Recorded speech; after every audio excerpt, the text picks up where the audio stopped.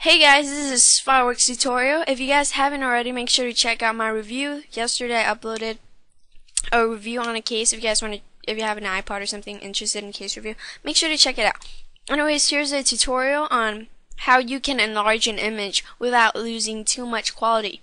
Um, so I found I've actually been searching the web for a good program that will do this, and I found a pretty nice application that allows you to do this.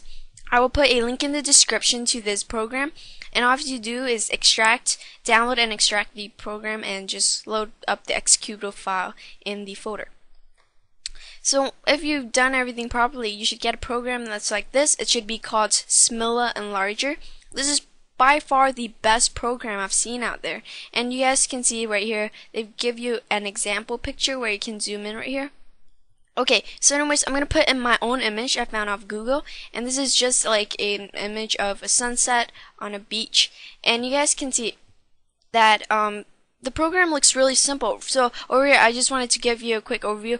On the left, you guys will see the source, which is obviously the original image, and on the right, you guys will see a preview of how it looks like when it's zoomed in okay and then and then on the bottom you guys will get a tab where you can get a kind of a zoom toggle where you can zoom in as much as you want.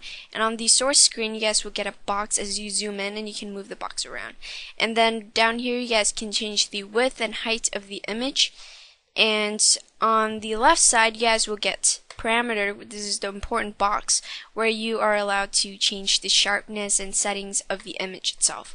Alright so let's get into this. For example uh, I'm going to show you how it looks like when I'm zoomed into this area right here on the screen. So for example let's zoom in on that tiny little rock over there in the corner. And you guys can see the quality is pretty pixelated but what you want to do is hit the preview button right here which is going to kind of refresh the image the preview image and you guys can see that is pretty amazing quality for such a zoomed in image. And now I'm gonna go to if you guys want to change the setting a bit I'm gonna change it and make it a bit sharper. So just hit the sharp um, setting right here and hit preview. And you guys can see that the quality didn't change much but yeah just you guys if you mess around with these settings enough the image will come out pretty amazing. And you guys can also make your own preset by clicking the new button right here and just arranging the presets.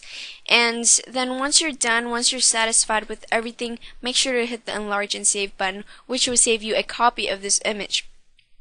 Now on the side, you guys will also get a tab right here on the right hand side, which is help. If you guys have any you know little questions that you you want answered, make sure to check this out before you ask a question, you know, before you go crazy.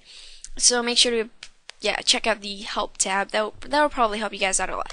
Anyways, um, this is probably by far one of the best image enlarger I've seen.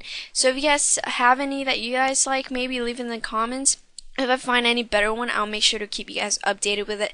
And I'm going to show you. If you guys are like a bit hesitant, I'm going to show you real quick right here. I'm going to click and drag this onto Photoshop. And I'm going to zoom in on this image right here, onto the rock. For those that are probably like screaming at the screen saying, no, it's not the best, Photoshop is. So I'm going to zoom in right now.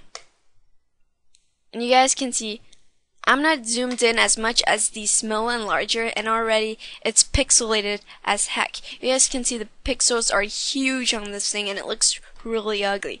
And yet, so yeah, I do recommend the Smilla Enlarger. It's a great program. Um, it's no harm since it is free. So yeah, make sure to check it out. And it's a really small file size. You guys can drop it in a just a small little flash drive, carry it around, and use it on random laptops.